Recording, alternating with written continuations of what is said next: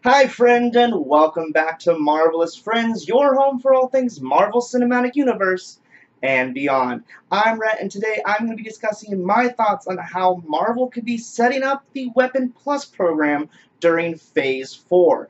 Roll that credit.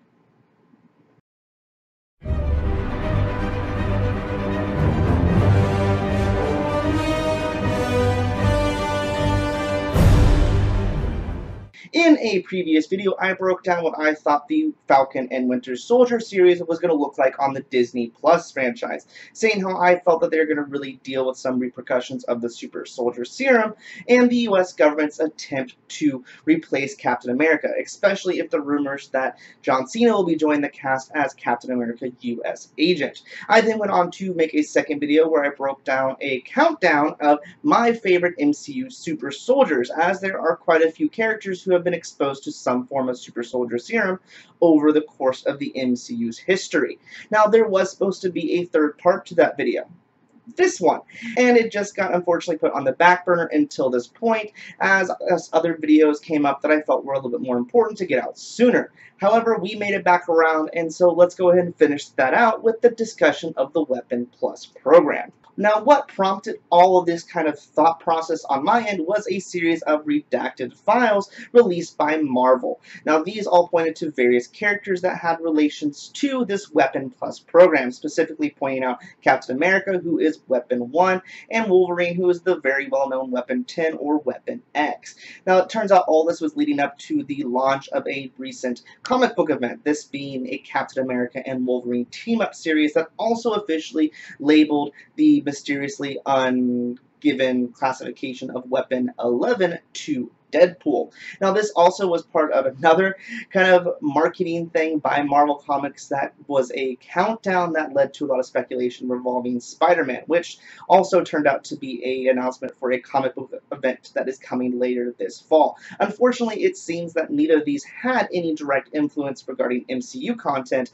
but that is yet to be confirmed regarding those redacted files, as I personally see them as something that is being hinted for the films myself. Now, there is a difference, I must say, between Weapon Plus characters and just Super Soldier characters, as I have mentioned both of those throughout this video already. Now, a Weapon Plus character is someone who has went through the official U.S. government-sanctioned weapons program, where they kind of try to continue the initial experiment that created Steve Rogers Captain America during Project Rebirth or Weapon one. Now, of course, this involved a super soldier serum. A general super soldier uses a variety of different techniques and processes to recreate that original experiment as well, giving them a variety of different enhancements along the way and at various levels of success, whereas the weapons projects are usually deemed a success in the end despite maybe a few hiccups and failures along each of those stages process. So that is the clear definition here. There are a lot of super soldiers in the comics, but there are only 15 at this point official weapons within that program. Many of the subjects that were put through these weapon programs in their later iterations were mutants. Again, Wolverine being the mutant that is most well known to be a part of the weapon program, and of course the weapon program was called the Weapon X program for so long because he was kind of the pinnacle of it, and it wasn't until later stories that they extended to additional characters being a part of the Weapon Plus program. And I know what you're going to say. We don't have mutants, and it's not going to be five years until we see the X-Men, according to Feige. And I agree to that, but I hold strongly in the camp that that does not mean we won't see mutant characters or lore that is a part of the X-Men storytelling before that, as many of those aspects needs to be set up and structured within the MCU to make way for those origin stories. And that means that we can start seeing some of that stuff earlier rather than later, and the weapon program is a perfect example of that, being the fact that it actually started its origins with non-mutants, and it wasn't until later versions of it that we saw it being used on enhanced beings as well. So I think this would be a perfect setup and something that we can see easily really established in these Phase 4 storylines. This will not only justify the merger of Deadpool and its established franchise into the MCU whenever that does happen eventually, but also will provide us a kind of origin story for Wolverine without us having to actually see it again. With us knowing the Weapon Plus program exists and we knowing as an audience that that is what the process that Wolverine goes through, we can see a different story for him in his origins, perhaps looking more of his Alpha Flight storylines rather than his direct relationship with this organization. And we just, as an audience, know this is a thing that exists, and so we don't need to see it again. Which is, again, something that Marvel likes to do. Give us the aspects of a story that we already know in a different way, plus tying everything in together like this allows them just to kind of skip this section of the storytelling when they eventually introduce Wolverine as well. However, one important aspect of that is the super soldier serum itself, which we know is very limited in its availability. Of course, the exact serum and the original serum was lost with the death of the Doctor during Captain America the First Avenger, when he himself was killed. Now, to kind of have a chance at recreating the serum, they took samples of Steve Rogers' blood, taking 12 samples to be exact. 11 of these stayed with the US government, and one of them was given to Howard Stark to keep for himself. The path of the 11 samples that the government has is a little unknown and something that could definitely be explored as we dive into this weapons program. It is safe to say, though, based upon what we know, that at least some of these were re-backwards engineered to create the experiments that led to the Hulk and then the Abomination. It's also safe to say that through the connection of Hydra within the US government and the shared information with the Russian government via Hydra, that this is what led to the Winter Soldier's success as well. And then, of course, because of their connections as well to Hydra, the Centipede serum probably was derived from these re-engineered samples as well. Now, we do know what happens exactly to Howard Stark's sample. It eventually passes hands to Peggy Carter, who decides that it is best in the hands of no one, deciding to pour the sample into the river from the Brooklyn Bridge, which that doesn't seem responsible or safe either, to be quite honest. I think you could have just disposed of it more responsibly than that, Peggy. Come on. Let us now begin the tie-ins to all this within Phase 4. We know from what has been implied that Phase 4 is going to deal highly with the repercussions of the events of Endgame, mainly those timeline meddling aspects of it. And one of the major ones is that Steve Rogers decided to stay behind in the past and live out his life with Peggy. Now, because of this, there's more chances to get samples of his blood, and more samples and better samples as technology progresses allows for better recreations of the super serum, and I think you see where I'm going with all of this. Basically, him staying back behind is going to result in better super soldiers in the current time of our current Phase 4 timeline. So that's why we're going to see an increase in some of these super soldiers being introduced, and we're going to see better iterations and recreations of them as well. Which this leads me to Falcon and the Winter Soldier, and if we are in fact going to be seeing John Cena in the U.S. Agent Captain America role, I definitely see this being a part of that. Now, this, of course, I believe and stated in that video again. I see that this will ultimately be done in some influence of Zemo, since we know he is coming back, and that he is actually going to be in ties to Russia and based upon those Winter Soldier programs that he also has a good knowledge about.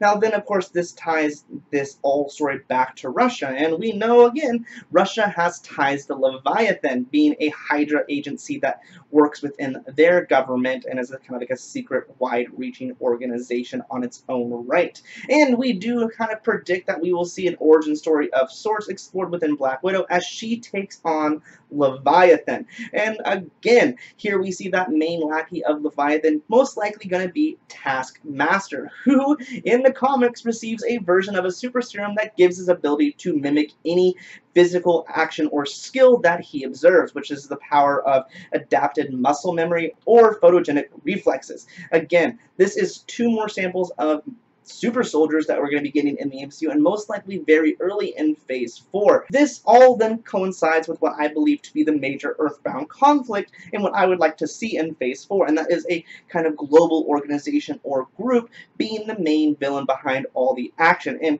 since Hydra has been done a lot, it would be nice to see another group step in, and I think Leviathan could fit that role very well, as it is already established in the MCU and can be explored a lot more. And again, this is comments coming from Feige where he says that he was planning to explore things that have been on the back burner or forgotten for a while within the MCU in the next phase, making it set up perfect. And we know it's potentially going to have a lot of tie-ins already, so it really fits in well. And with Hydra basically being pushed out of the limelight thanks to the efforts of Agents of S.H.I.E.L.D. and kind of taking them out, Leviathan could see an opportunity to step in and become that superpower in the world, especially after these very promising experiments with the with the super soldier serum. And I think Zemo will play a big part of that in setting that whole process up as we learn about it from that aspect of things. With this growing threat of international super soldiers on the rise, we would definitely see the US government step in and want to do something on their own as well to kind of counteract this. Enter the Weapon Plus program. I got back to it. I hope you weren't worried. It's not just about Leviathan and super soldiers in general. This is kind of collaborated by the idea that we see Infinity War with General Ross. He is definitely not happy when the war criminal labeled Avengers return to the compound to take on the threat of Thanos. And this is definitely something that I would say relates to the rest of the US government as they're not a big fan of not having these heroes under their own thumb of control. This is very much so mirror mirrored with General Talbot and General Hale and Agents of S.H.I.E.L.D. who do not like S.H.I.E.L.D. using these enhanced people as their agents without the government's exact, complete control over them. And so we could definitely see them turn to this Weapon Plus program to create their own units of super soldiers to turn to instead of relying on these agents of S.H.I.E.L.D. groups and the Avengers groups who they don't necessarily trust are always 100% going to do what the U.S. government wants. I'm also going to go ahead and note here that Frank Grillo has five more movies on his contract. He, of course, if you do not remember, plays Crossbones in the MCU. Now, of course, he is dead, that is something I'm aware of. He died due to a force field that was encased around him during an explosion by Wanda. Now, we could see him pop up with these appearances as kind of like a haunting memory for Wanda, as we do know that that event affected her, but I think the use of him as a super soldier in this Weapon X program would be a lot better. Now, in the comics, Crossbones has a power set that is very similar to those who are enhanced with some form of super soldier serum, though it's not specifically said that is the case in the comic books from the research that I could find. Now, what we could see is that this is confirmed that it is what his powers come from and that he was officially a super soldier, most likely placing him in one of those super soldier sleeper cells of the Weapon 8 program. This would allow for some rounding up and some history flashback examples of the progress of the Weapon X program. I keep saying Weapon X, Weapon Plus program um, throughout the MCU, kind of setting it up for modern times, which I think would be a great use for these additional contracted appearances that Marvel could take advantage of. And this would again give us yet another super soldier and aspect of this kind of story development within Phase 4. One other aspect that we will kind of need introduced at some point to really get this ball rolling is Colonel Stryker, the man himself. Now, he is, of course, related to the weapons program, but it's not the only aspect to the character. Um, the X-Men film franchise really made him out to be the only man in charge, but that's only one aspect of it, um, but I will come back around to that in a second. He is someone that could easily be seen kind of tied into the greater MCU, introduced as an up-and-coming military personnel that really General Ross takes a liking to, and the two of them being very closely linked. And then eventually General Ross giving Colonel Stryker the kind of official go-ahead with the modern iteration of the weapon program. Though, like I said, I would be interested to explore some of those other aspects of the character. Now, in the comic books, yes, he is a part of the weapons program, but eventually does leave due to the interaction of mutants, finding them to be something derived from the devil that is to ruin humanity, and he turns to become almost a religious leader of sorts, being deemed Reverend William Stryker in the comic books for the majority of his story and interaction with the X-Men. Now, this would be something really interesting to introduce and a whole new aspect of the character we have not yet seen. Again, giving us something different and taking aspects we already know and turning them into something new and exciting for us as an audience. When this eventually happens, I would see General Ross stepping back in as kind of the leader of this weapons program. He seems the most suited out of the characters that we have to really take on this role, and he seems the most likely to do so. Now, of course, it's also important to know, if you don't already know, that he is also the Red Hulk, and in this kind of storytelling of him being in charge of the weapon program, we could explore the fact that actually he has been the Red Hulk this entire time, and lead us to another Hulk film where they face off against one another. I say all this because I just really want to show how well this ties into everything that already exists in the MCU, making an aspect of storytelling that we can use without relying on mutants and begin that ball rolling to the eventual introduction of the X-Men and specifically Wolverine. Because just to have this all thrown in again at the moment when all that's introduced seems unnecessary when we could start that process now and develop some great stories with it, especially with those tie-ins to Leviathan and all of that. I think it's something that would really make sense, and then eventually we would get those tie-ins to the mutants when they are introduced, however that ends up being. Again, that is another video for another day. Finally, I think this all just ties in really well with the idea of an Earthbound storyline. Again, referencing Feige's comments on all this, that we will see a division between those two sets of heroes. And having something like this and a group that's far-reaching really ties in well to all the potential storylines we could get here on the Earthbound storylines. And I just think it would be really interesting. But I would love to know what you think about all this. Do you think that this would be a great device to be used in Phase 4 storytelling? And do you think this would be a great way to kind of go and start getting the ball rolling and build that excitement to the eventual X-Men and specifically Wolverines, in this case, introduction on down the road? Let me know down in those comments. If you enjoyed this video and want to share it and like it, I would greatly appreciate it, so definitely do so. Also, make sure to subscribe and set those alerts so you catch all my future videos. But until then, I love you all 3,000. I hope you have a marvelous rest of your day. Bye, friend.